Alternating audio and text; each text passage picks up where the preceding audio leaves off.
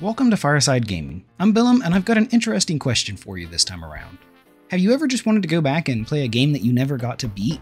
A game that you built up in your mind as probably being really fun, but you just for some reason never got to play it all the way through, or even much at all? For me, Croc Legend of the Gobbos is one of those games. I originally bought Croc back in middle school at a scholastic book fair. Yeah, my parents sent me to a school book fair to buy books, and then I went and bought a PC game. Granted, this wasn't all that uncommon. Don't get me wrong, I typically bought books, and I was and still am an avid reader. But I bought a lot of games at Scholastic Book Fairs simply because I was given money and I wasn't supervised. Just a few that I can remember off the top of my head are Sim Earth, Sim Theme Park, the 3D remakes of Centipede and Frogger, and of course, Croc. And while all of those other games never gave me trouble, my poor old PC just couldn't handle Croc. At this time, I think my family was still using this old Windows 98 Packard Bell that we had, and the game was just downright unplayable, as in single digit frame rates. And I want to be incredibly clear here that this isn't the game's fault. I was just a kid and had no idea what computer specs even were and hadn't once heard of a graphics card in my life. So Croc just kinda sat around in the back of my mind as this game that seemed really fun, but not one I ever really played. That is, until I picked up a copy during a game collecting spree earlier this year. I only spent 15 bucks on a copy that I'm almost positive was opened but never played. Just to put to rest this curiosity that's been sitting in the back of my head for about 20 years now. Now don't get me wrong, this wasn't something that was eating at me all my life. Think of it more as a small tingle that would pop up when I saw the game in retro shops, but wasn't enough to get me to buy it until earlier this year. And considering my lack of Croc knowledge, I was surprised to find out that he originally started out as a pitch for a Yoshi game. Evidently, Argonaut Games were pretty happy about their relationship with Nintendo after their collaboration on the SNES. So happy, in fact, that they tried to get Nintendo to let them make a Yoshi game. And when Nintendo rejected the idea, Argonaut switched gears and retooled Croc into its own IP. But the real question here is was it worth it? Both them making this game and me buying it. And that's what we're going to get into now. Croc is incredibly light on story, but I am still going to warn that there are spoilers in this video. The basic rundown of Croc's story is that he's an orphan discovered by the Gobbos, a tribe of small, brown, furry balls that immediately make me think of Kuriboh from Yu-Gi-Oh! These peaceful little fellows raise Croc, and all is well until Baron Dante comes along and captures all of the critters. This has Croc teaming up with companion Boney the Bird to save all of the Gobbos and defeat the evil wizard. And that's exactly what we do. After running around through four worlds, they finally face down against the Baron with Croc dealing him a crushing defeat. And with that, the Gobbos are saved and all is right with the world again. Unless you want to 100% the game and take on a secret world with another showdown against Dante. For the record, I didn't do this, and while I know I could have just used the game's password system to skip to that final fight and get some footage of it, that felt like cheating, so I didn't. And I guess that means that now is the time to talk about the gameplay in Croc Legend of the Gobbos, since it's what kept me from caring about getting the true ending and fighting the real final version of Dante.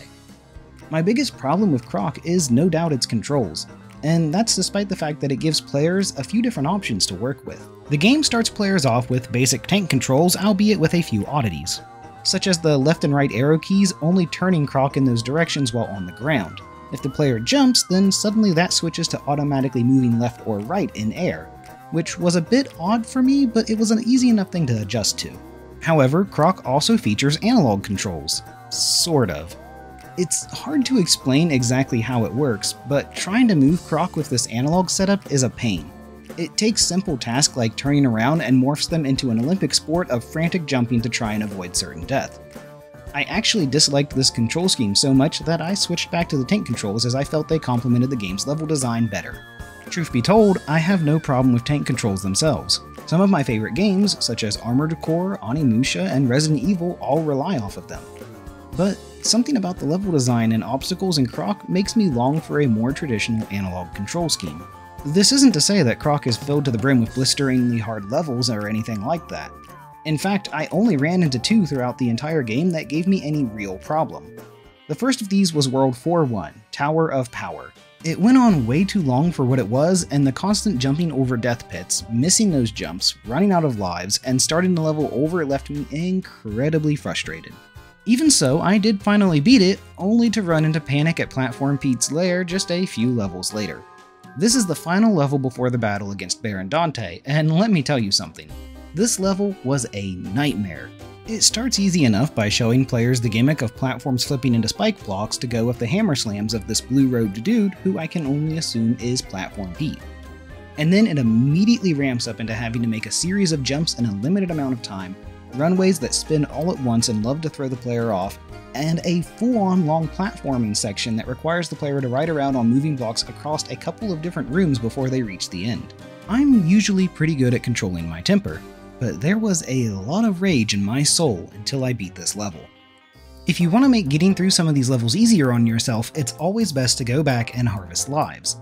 There are a few different places that you can find, including Tower of Power if you're late game, where you can just collect some hearts at the very beginning, exit the level, and you get to keep those hearts.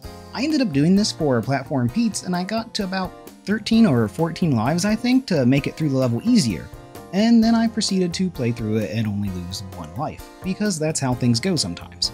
Yet again, the tank controls are the biggest obstacle players will have to deal with in Croc. And that's unfortunate since I feel like this game has a lot of potential. I legitimately like a lot about Croc's setting and appearance. Don't get me wrong, it's simple, but still good. Crocs and Gobbos both have designs that reek of successful mascot platformer, and the game's bright and colorful worlds are a plus. I also really dig all of Croc's cute little sayings when he's attacking enemies like Kersplat and Yazoo. And the sound effects and music both follow along with this by being fitting for the setting and enjoyable to hear. I even went so far as to check out the Game Boy Color version of Croc 1 hoping that its formula may work better in a 2D setting. And while what I played of the game was inoffensive, it in no way, shape, or form convinced me to stick around past the first level. To be fair though, that's partially because I can't stand 2D platformers that automatically shift the camera around to whatever direction the character is facing. I get the logic of it giving the player a better view of what's coming in front of them, but it messes with my eyes something fierce and I just can't handle it.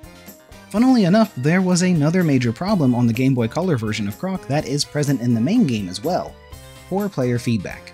Specifically, there's not really much of anything to let players know when they've hit an enemy. That's doubly true for bosses, with there not being any kind of sound effects or any iota of physical feedback on screen to show that they've been hit. And it also doesn't help that the hitboxes in Croc are kinda wonky. This actually makes just about all of the boss fights a little annoying, as it's hard to gauge just how close Croc does have to get to them to hit them. Then there's that lack of satisfaction that comes from a silent tail swing that maybe damaged the boss. It makes all of these boss fights feel incredibly anticlimactic, especially during the final battle with Baron Dante. So to summarize, Croc has a kid-friendly story, cute and lovable characters, a fun soundtrack, and good vocals to go with it. But it's pulled down by its frustrating controls and level design, as well as its lack of feedback for physical attacks. All of this is to say is that Croc is a flawed game that I think could have been really good, but just doesn't stick the landing, it's really only okay at best in my book. But hey, maybe the game can still be redeemed. This is incredibly recent news, but Jez San, the founder of Argonaut, sent out a tweet saying that Croc HD is in the works. The game is evidently in early development right now, and I'm hoping all goes well with it. Maybe we can get some true analog controls this time around to go with that fresh coat of paint.